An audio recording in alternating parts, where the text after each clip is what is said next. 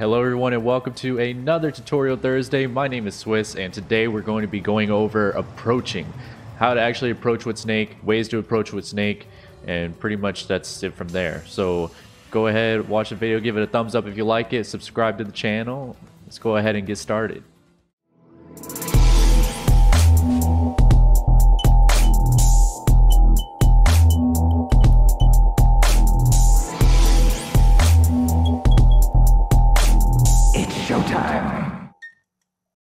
Approaching with Snake can be a little bit complicated, and there's a few factors that you have to actually understand on approaching someone. Uh, and we're going to start off with going over two things that's condition conditioning and analyzing. So, when you're conditioning, conditioning and analyzing, you need to always keep track of your opponent and make sure that you're looking at your opponent more than you are yourself because you need to understand what are they doing in the neutral? Are they jumping? Are they running at you? Are they using projectiles? You know, what exactly are they doing? And then conditioning is primarily based on around actually using grenades and seeing how they work around that. If you throw a grenade, are they jumping? Are they shielding? Are they rolling? Are they running backwards? Are they running forwards? Etc. Etc. So using one grenade should be able to get you enough data to actually know what you need to do to actually approach your opponent. Also, as well, not only that, but if you're also um, using two grenades, then that's just going to help out even more, right? To cover options and to also see how they react with two grenades versus one grenade. How are they reacting to Nikita neutral? If you use Nikita, how are they moving around C4, etc., etc. So it's definitely under, it's definitely um, your responsibility to make sure that you're watching your opponent, seeing what they're doing, how are they moving, how are they reacting, and going from there. And that's, again, conditioning and analyzing. Now, after you've used a couple grenades, run forward, run backward, or something like that, kind of see like how they react to your movement and your projectiles, such as grenades or Nikita neutral. Now it's time to actually use that to your advantage. In this case being said, if I throw this grenade and they keep jumping, let's just say the Samus keeps jumping, uh, such as like this. So let's say I'm throwing grenades, right? And she keeps jumping over it. So in this case, what you want to do is throw a grenade and then try to figure out a counter option to that. Whether it's, you know, raw back air or you short hop near them or you run up up tilt, you know, or dash attack on landing. I mean, whatever you think is going to be the best option to actually cover that. So once you do that, that's going to help out a lot because that's going to help you get inside and actually be able to approach your opponent.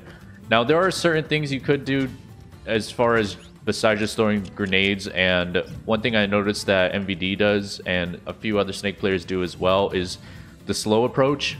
And that's generally just throwing grenades and just kind of just moving behind it. Like you don't want to throw a grenade, run in, and then dash attack. You want to kind of just throw a grenade kind of leave that around, slowly move up behind it, inch up closer to them, and then try to use your advantage to attack them with a down tilt, a dash attack, or grab, or if they're jumping, you know, use aerials, etc., etc. So you want to make sure that you're using your grenades as far as approaching because that's going to help you get inside, especially if they're shielding or something, they're going to feel stuck because of this grenade that they can't move around. So again, they might try to get out the way or they might sit in shield. And if they do sit in shield, again, that's a free grab to try to look for a nade conversion out of down throw or something like that if you could. Or you could like jump over them, get like a nair or something, or you know, whatever the case, whatever really the case is that you want to go for to try to counter what their options are as far as moving. But the grenades is a really good projectile because you can move up closer with it and you can try to freeze your opponent to keep them in one spot. That way you can pressure them as much as possible. So now that we've gone over a general idea of approaching with Snake, we're going to go into two different character groups now, and that's going to be zoners and rushdown characters.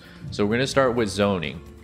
So when you're playing a zoner, you need to understand a couple of things, and that's going to be how does grenade react to their projectiles? Either when they both contact each other, does the grenade blow up or does it stop where it's at and nothing happens? Other than that, do can you crouch under the projectile, right? Can you jump over the projectile? And you need to use these things to actually be able to approach. So you need to know these things. If you don't know the matchup, if you're fighting a Samus for the first time and you don't understand how her projectiles works, then you have to try a few things just to see what happens and then try to analyze and get your data as soon as quickly as possible. So in this case being said, if you're fighting a zone or Samus, I tend to just throw throw a grenade like this just to see what happens when a projectile hits it. When it hits missile, does it blow up? Does it hit when it hits charge shot? Does it blow up? Does it do nothing? Does it depend on how charged up it is?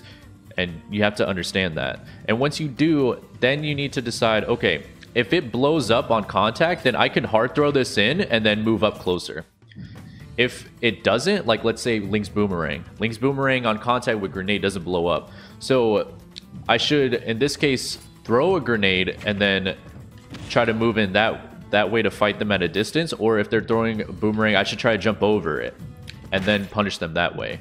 And that same thing with missiles, charge shot, uh, Belmont's cross, or you know whoever the whoever else zones in this game. You need to understand that if you jump over the projectile, can you do you have enough time to grab them, dash attack them, down tilt, F tilt, etc. Or you know even just jumping over them, jumping over the projectile and hitting them with the back air for it.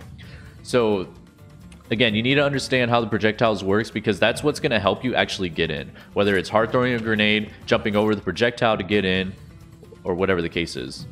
Last thing about zoners as well, if you notice that you can crouch under their projectile, I highly recommend using crawl. So you can crawl up to them and then be able to down tilt them or dash out of the crawl and then go for a dash attack or, or grab or down air or whatever the case is.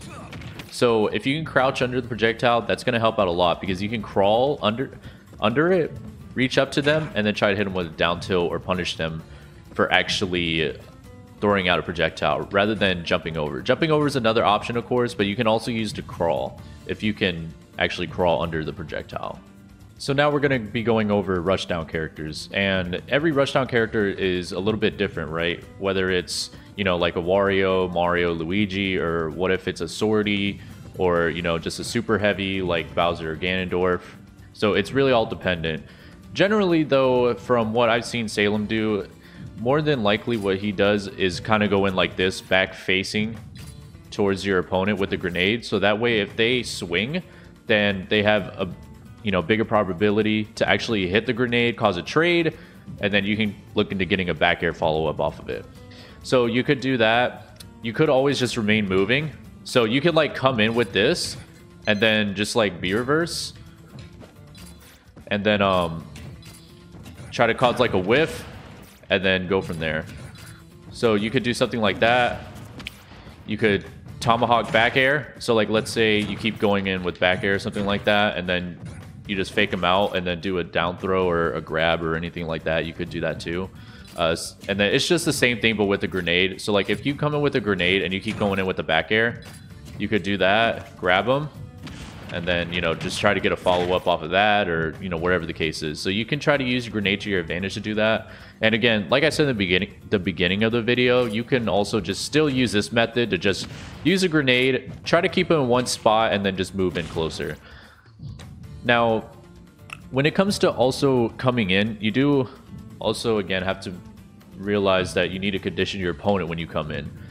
So if you keep coming in with dash attack let's say you could keep doing that to condition your opponent to want to shield. So when they shield, instead of running up to them, you could just grab them instead of dashing. I mean, instead of doing a dash attack.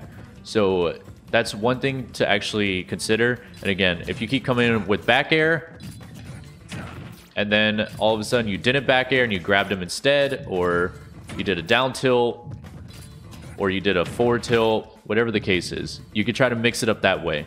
So those are ways like you you can condition your opponent. A very good set to watch is Ally versus Dabuz. He would come in with dash attack a lot, and then near the end he would start doing dash grab, and that helped him out a lot to get a lot of percent and even to close out the set win. So one last thing I do want to go over as far as rushdown characters goes is if your snake is not fully developed as far as actually being as offensive as possible or being able to play a super aggressive very well, like let's say ally or something like that. Let's say you're just not on an ally stance where you can just rush opponents and actually beat them.